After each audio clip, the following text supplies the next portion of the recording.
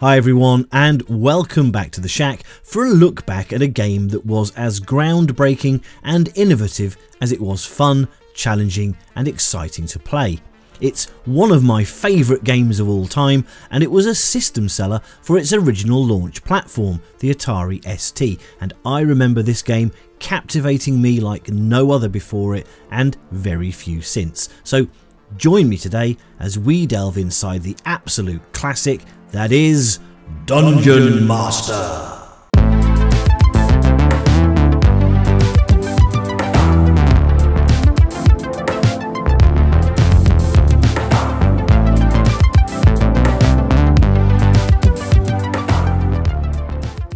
Here at The Shack, we'd like to give a huge thank you to the sponsor for this video, PCBWay.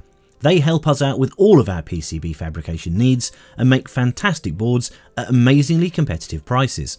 And it's not only PCBs that are on the menu. Apart from other fabrication services like CNC machining, 3D printing, sheet metal fabrication and injection moulding, PCBWay also have a great projects library of cool stuff to build from people all around the world.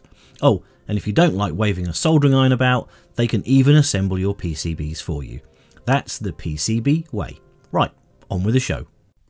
So, back in 1987, computer role playing games weren't exactly a new thing. Now, bear in mind, we're not talking about adventure games like Colossal Cave or Zork, which were text based and had a prescriptive and repeatable solution. We're talking about games with proper role playing mechanics, which featured player statistics influencing your character's abilities in various situations, and an element of luck akin to throwing the old bunch of d6s across the table. There had, of course, been many graphical role playing games before 1987 when Dungeon Master was launched, and in fact, going back to arguably the very first of its kind, D&D, that was way back in 1975 and is also notable for introducing boss monsters to video games. A lot of role playing games before 1987 were top down affairs with overland map screens to navigate with a figure representing your party, and town and dungeon maps which became more granular and allowed you to direct individual members of your team. Games like this, such as the early Ultima series, were very popular, but whilst they did emulate very well the feeling of tabletop Dungeons and Dragons, they didn't put you in the game. You were watching from your godly perch above. A lot of these games also had a limited level of choice. Being keyboard driven, you were often presented with a choice of a few things you could do at any given time. Out in the wilderness, you may have the options of going north, south, east or west, having a rest, or maybe searching your surroundings. You're given some options and you choose one, and then the game plays out the result. In a scuffle, you may be asked if you want to fight or run, or maybe cast a spell. All good fun, but being given choices at a given time always made me, at least, wonder why I couldn't, for example, punch the skeleton and then run away and hide before coming back and throwing an apple at it. With the emergence of the 16-bit machines being more powerful with better graphics, more memory, and the mouse becoming more prevalent as a means of interacting with a computer, the way we played games was changing and role-playing games were no exception. So in 1987, when I first entered the dungeon in Dungeon Master, I remember thinking this was utterly amazing. I had an actual view of a dungeon ahead of me and I could walk forward, turn around and see the door I just entered through and it felt like I was there.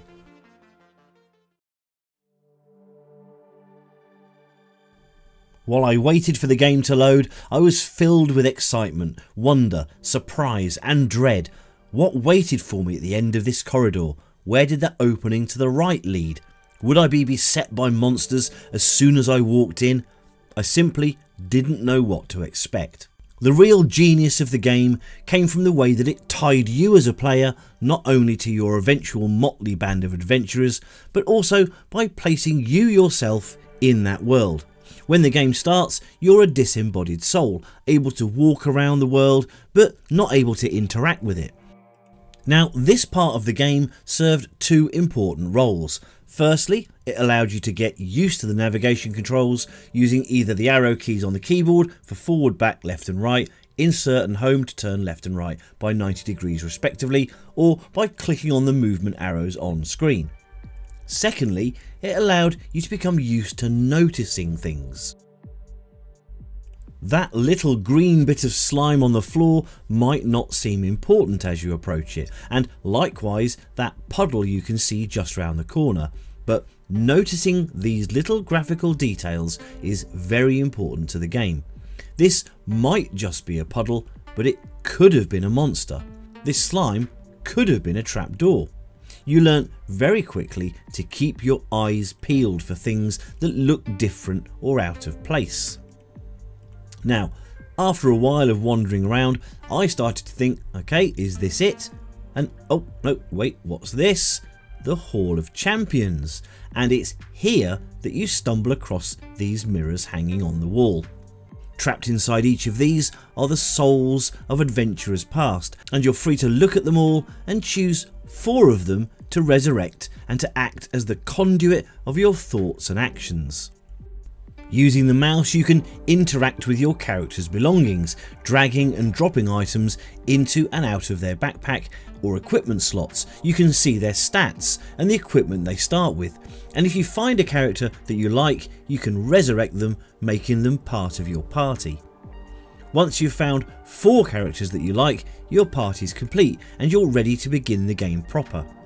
You need to choose wisely as each character has strengths and weaknesses and there are many many opinions on what makes the perfect Dungeon Master party and choosing your characters in this way, bringing them into your world bonds you to them. No other game before or since has had me so attached to my characters and to truly care when they suffered, rejoice when they won and feel loss when they die. That subtle bridge of putting you into the world, making it yours, and then pulling the characters in is genius. Simply genius. So, with our carefully chosen party on board, we can begin our adventure. And this is also where the brilliance of the game design shines through. It doesn't throw everything at you all at once, leaving you overwhelmed or confused, and it also doesn't put you on an obvious linear track where you feel you don't have any option on where to go or what to do. You're left to discover things, notice things, figure things out. And when you do figure out that you can pick up that apple off the floor and put it in your backpack or drop it onto another character or notice that bread in the corner or that you can pull a torch out of its sconce on the wall and use it as a portable light source and then realise that it doesn't last forever so you have to keep them for when you really need them, it all gives you this little dopamine dump of satisfaction that just makes you want to discover more. And there is a lot to discover. There are magic scrolls lying around that will give you access to spells of all types that when you cast them have a visible and audible effect on the world around you. There's weapons and armour to find and you soon realise that the apple and bread you found earlier aren't just there for decoration, you need to keep your characters topped up with food and water Otherwise, they start taking damage, and that means rationing because food and water become rarer the deeper you go. And of course, there's the monsters, and there are lots of those. But again, here's where Dungeon Master really was different. What set Dungeon Master apart from other RPGs of the time was its real-time combat system. Instead of taking turns to attack, you had to think on your feet and react quickly to enemy attacks. This created a sense of urgency and tension that was unmatched in other RPGs of the era. For this style of gameplay, the game's mouse-based controls were a revelation. Instead of typing in commands, you could interact with the game world using a pointer and a series of context-sensitive menus, making the game much more intuitive and accessible than other RPGs. But perhaps the most remarkable thing about Dungeon Master was its dungeon design. The levels were intricately designed with puzzles, traps and secrets hidden around every corner the game's designers made brilliant use of the system's graphics to create a sense of depth and immersion that was unprecedented in video games at the time. Dungeon Master was a true trailblazer and it remains a beloved classic among retro gaming enthusiasts to this day. Its impact on the world of video games can't be overstated. Its real-time combat system and mouse-based controls were adopted by other games and its dungeon design philosophy can still be seen in modern games today. In terms of its graphics and sound, Dungeon Master was top notch featuring impressive 3D graphics and haunting sound effects that added to the game's atmosphere and tension.